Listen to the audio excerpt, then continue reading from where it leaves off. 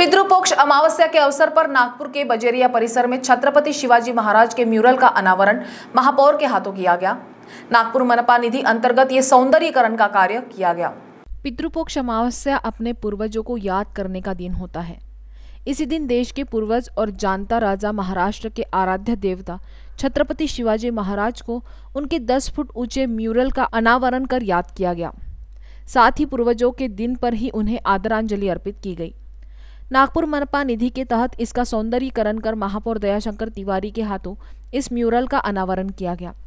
इस कार्यक्रम की शुरुआत शस्त्र पूजन कर की गई। इस दौरान विद्यार्थियों ने दान पट्टा आदि कला का प्रदर्शन भी किया। खासकर लड़कियों ने अपनी कला से सभी को मोहित किया।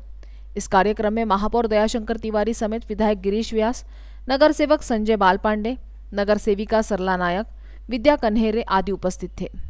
इस दौरान महापौर ने उपस्थित सभी को संबोधित करते हुए छत्रपति शिवाजी महाराज को नमन किया।